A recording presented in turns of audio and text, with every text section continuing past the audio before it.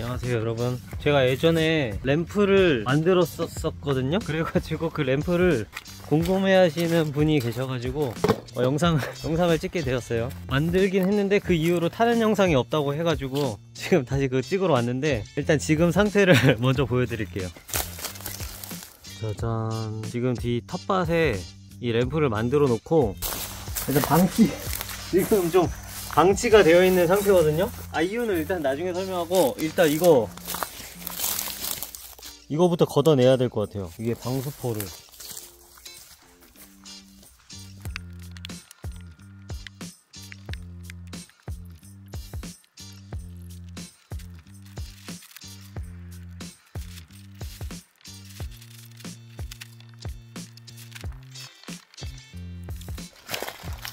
보셨죠? 걷어내는 것만 하더라도 일단 엄청난 수고스러움이 들고 위에 비닐을 싸지 않으면 이게 일단은 관리가 안 된다고 보시면 돼요 그래서 항상 이렇게 덮어놨는데 보드 탈 때마다 이거를 걷고 다시 다시 씌우고 이런 번거로움이 있어요 자 여기 보면은 저 녹이 녹과 이제 나무가 많이 상한 상태예요. 합판도 되게 좋은 합판 쓰긴 했지만 관리도 엄청 잘 돼야 되고 아무튼 여러모로 신경을 많이 써야지 이게 유지가 된단 말이에요. 근데 제가 또 그렇게 하지 못했어 살짝 쓸어내고 보드를 한번 타봐야 될 것 같아 빗자루가 여기 어디 있었는데?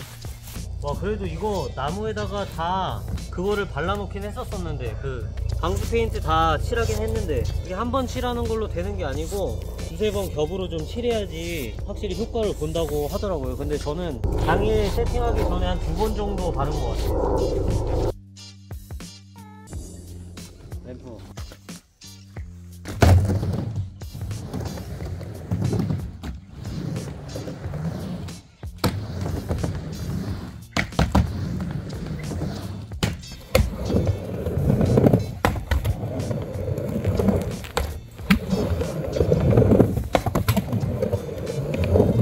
바로 옆에 닭장이 있어. 제가 이곳에서 지내면서 이 램프를 만들게 되었는데 취직을 하고 일을 하면서 그 다음에 아이도 유치원을 아 어린이집 어린이집을 가야 해가지고 이걸 만들어 놓고 이제 떠나야 하는 상황이 생겼었거든요. 그래서 그때 이후로 계속 방치가 됐었던 것 같아요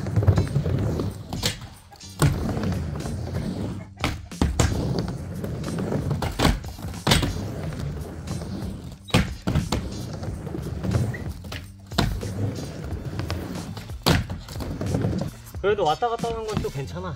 이제 내가 안 괜찮아. 체력적인 것도 그렇고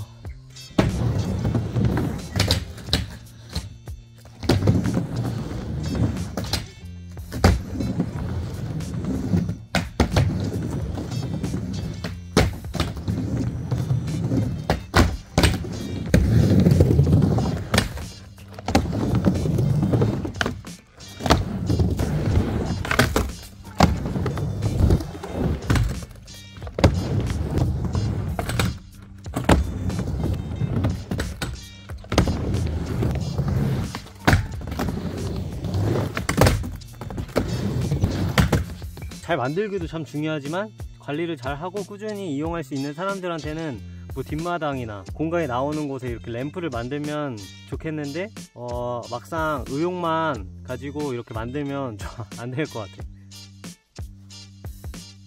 안될 것 같아요.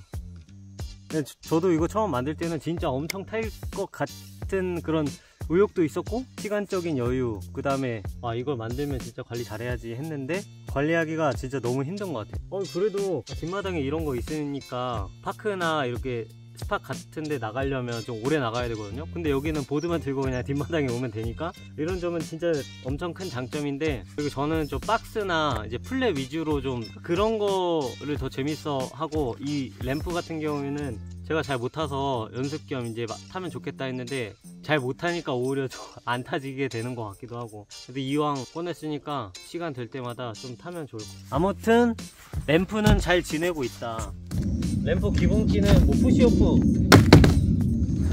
으로 해서 올라갔다 내려가는 거가 익숙해져야 되거든요. 근데 이때 그냥 몸이 땅에서 90도로 서 있는 게 아니야.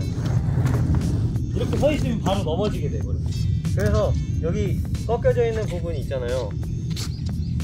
간단한 예를 들자면 빗자루를 이렇게 가운데 중심으로 돌리면 원이 되잖아요 이 반쪽이고 반쪽이면 이제 나오는 게 커터야 4분의 1. 이 4분의 1 이렇게 올라갈 때 이 경사에 맞춰서 몸이 이 경사면과 90도를 맞춰야 돼요. 이렇게 이렇게 자 돌아갈 때 이렇게 90도에 맞춰서 다시 이렇게 내려가잖아요. 그런 것처럼 이 큰 큰 원, 그러니까 이 가운데 거 생각하지 말고 이걸 연결했을 때 큰 원에서 있으면 꼭지점이란 곳에 이 경사면에 맞춰서 이렇게 몸 기울기를 조절해 줘야 돼. 이렇게 갈 때는 이쪽 위 다시 다시 상, 이 스케이트보드가 올라갔을 때 이 90도는 이렇게 대각선이 되는데 몸이 그렇게 대각선에 거예요. 그래서 느낌 자체는 살짝 뒤로 쏠려준다 몸을 이것만 해도 일단은 반은 벌써 성공한 거야. 정확한 이해가 됐나? 그 다음 두 번째는 펌핑. 펌핑은 뭐냐면 우리가 그네를 탈 때 발을 이렇게 굴러줘야 더 크게 이렇게 왔다 갔다 하잖아요. 처음에 이렇게 타다가 발을 굴러주면 더 많이 가잖아. 그럼 이렇게 차서. 그러니까 우리가 그런 것처럼 여기서도 몸을 밀어서 이렇게 올려준다는 느낌으로 뭔가 해주는 거예요. 그게 펌핑이야 이 커브가 시작되는 지점에서 앉아서 밀고 그 다음에 다시 여기서 앉고 다시 내려올 내려오면서 평평해지기 전에 앉아서 여기서 밀어야 돼.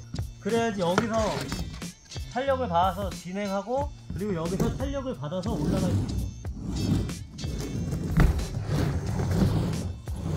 여기서 앉아서 여기서 이렇게 올리고 여기서 다시 앉아서 앉아서 이렇게 해야지 아 이렇게 해야지 탄력으로 탄력을 받아서 올라갈 수 있어.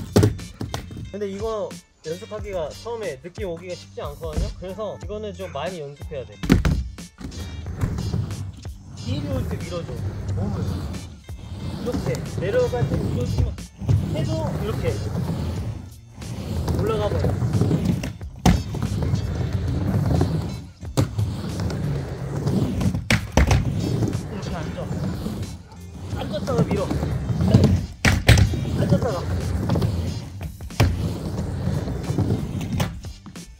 앉은 힘으로 해서 이렇게 엉덩이를 좀 뭔가 이렇게 밀어줘야 돼. 그러면 뭔가 이 펌핑에 대해서 느낌이 더 빨리 올 거예요.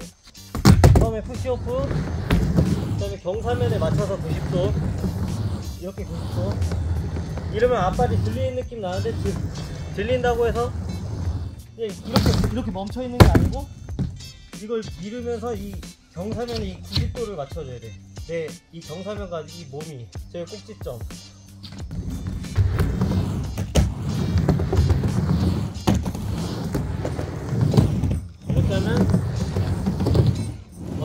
되고 이제 여기서 또 앉아서 일어